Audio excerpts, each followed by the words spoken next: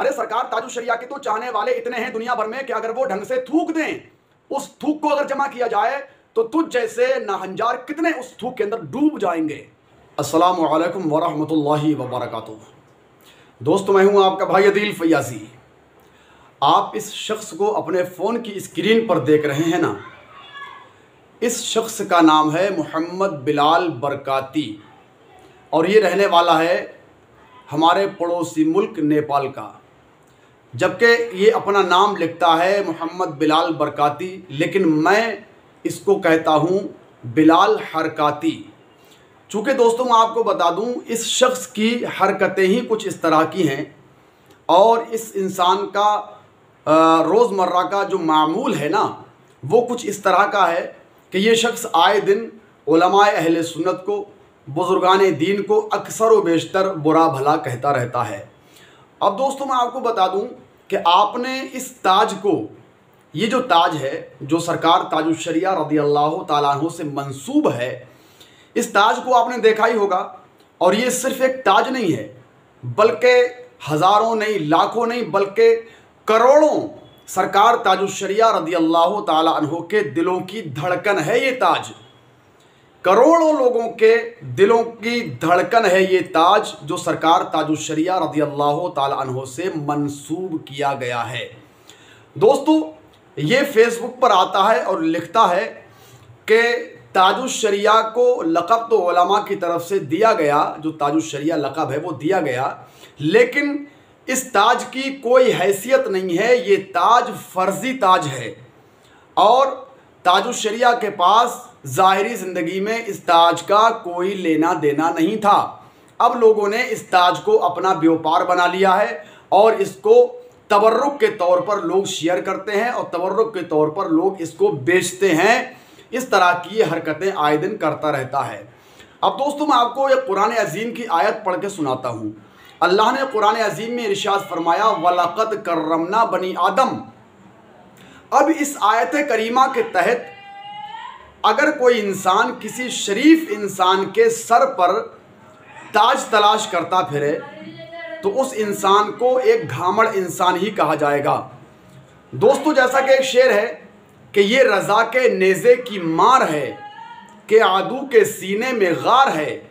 अब इस शेर को अगर कोई पढ़कर ये कहे कि भाई हमें रज़ा का नेज़ा दिखाओ और जो गार है वो दिखाओ तो दोस्तों, उस इंसान को अहमकुल हुमाका ही किया, कहा जाएगा। उस इंसान को बेवकूफ़ ही गर्दाना जाएगा, जिस तरह की ये हरकतें करता है आए दिन, जिसका नाम बिलाल हरकाती है।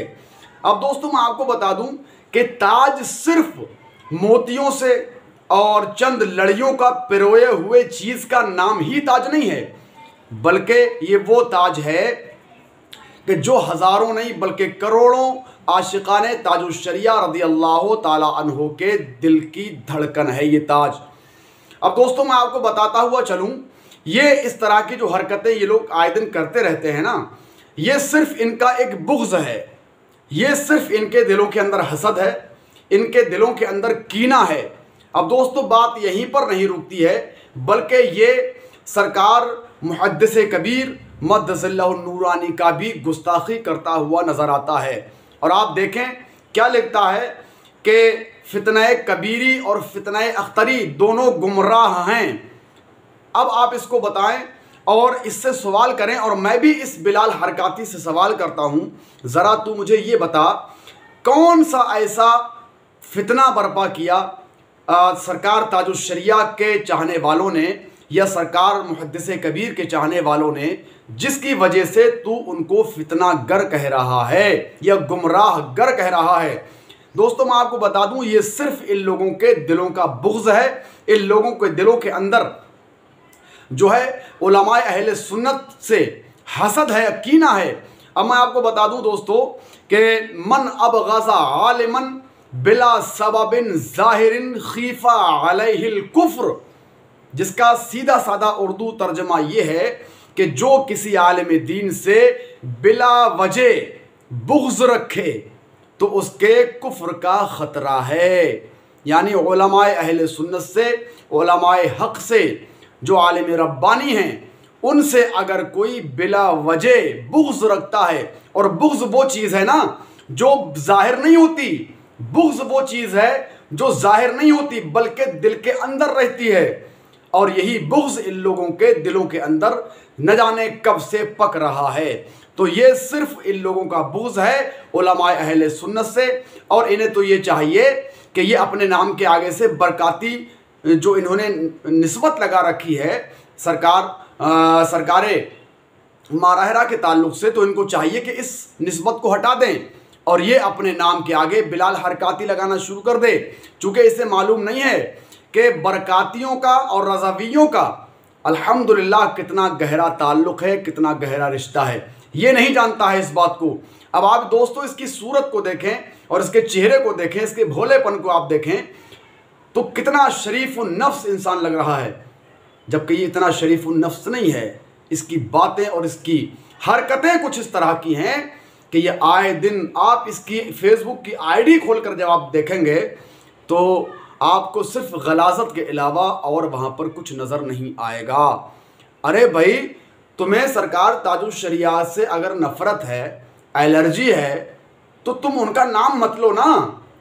अरे सरकार ताजुशरिया के तो चाहने वाले इतने हैं दुनिया भर में कि अगर वो ढंग से थूक दें, उस थूक को अगर जमा किया जाए तो तुझ जैसे नाहंजार कितने उस थूक के अंदर डूब जाएँगे। तो थोड़ी शर्म हया करो। लाज करो थोड़ी बहुत। थोड़ी अगर शर्म बाकी है ना तो कहीं जाके डूब जाओ। तुम्हें कोई और काम नहीं है, सिर्फ़ ओलमा पर जो है तबर्राबाजी करना ओलमा की ऊपर उंगलियाँ उठाना, जबकि तुम्हारी कोई हैसियत तो है नहीं। तुम्हारी कोई हैसियत नहीं है, तुम्हें कोई जानता नहीं, पहचानता नहीं। और तुम आए दिन बड़े बड़े ओलामा पर उंगलियाँ उठाते रहते हो। थोड़ी शर्म करो ओलामा की इज़्ज़त करना सीखो। ओलामा की इज़्ज़त करोगे तब दुनिया तुम्हारी इज़्ज़त करेगी। अगर ओलामा की इज़्ज़त नहीं करोगे तो दुनिया तुम्हारी इज़्ज़त नहीं बल्कि तुम्हें पाँव की जूते के नीचे रौनती हुई नज़र आएगी। तो शर्म हया से काम लो और जिस ताज की तुम बात कर रहे हो ना ये सिर्फ़ एक ताज नहीं है बल्कि सरकार ताज शरिया के कदमों में करोड़ों ऐसे ताज हैं कि जिन आ, के जो ताज सरकार ताज शरिया के कदमों में हैं तो उन ताजों को ओढ़कर न जाने कितने लोग ताज पर बन गए हैं। तो ऐसे एक नहीं, करोड़ों ताज सरकार ताज शरिया के कदमों में हैं। तुम सिर्फ़ एक ताज की बात करते हो। सिर्फ़ ये एक ताज नहीं है, बल्कि करोड़ों आशिकान ताज शरिया के दिलों की धड़कन है। मैं आप तमाम लोगों से गुजारिश कर रहा हूँ, तमाम लोगों से गुजारिश कर रहा हूँ, जो अहल इल्म हजरात हैं, या जो आशिकान ताजुशरिया हैं, वो आप जाएँ और जाके ज़रा इसकी फ़ेसबुक को खंगाल कर देखें आप। कि ये कौन कौन सी आए दिन हरकतें करता रहता है। तो ये सिर्फ़ ओलामा से बुग्स है इन लोगों के दिलों में और इसके अलावा कुछ भी नहीं है।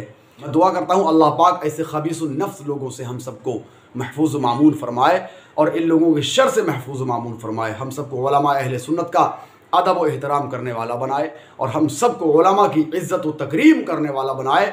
याद रखो, जब तक ओलामा की इज़्ज़त नहीं करोगे जब तक दुनिया तुम्हारी इज़्ज़त नहीं करेगी। हमारा आपसे कोई ज़ाती मामला बिल्कुल भी नहीं है।